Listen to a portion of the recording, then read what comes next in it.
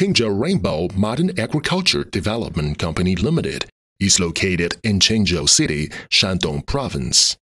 Rainbow has four main types of greenhouses multi-span arch-type film greenhouse, single-span film greenhouse, Venlo type polycarbonate sheet greenhouse, Venlo type glass greenhouse, and also can design according to customers' requirements. Now, Rainbow main market is Central Asia, the Americas, Africa. Its greenhouse projects are in more than 20 countries. In the future, Rainbow will provide greenhouses for more countries and contribute to agricultural development.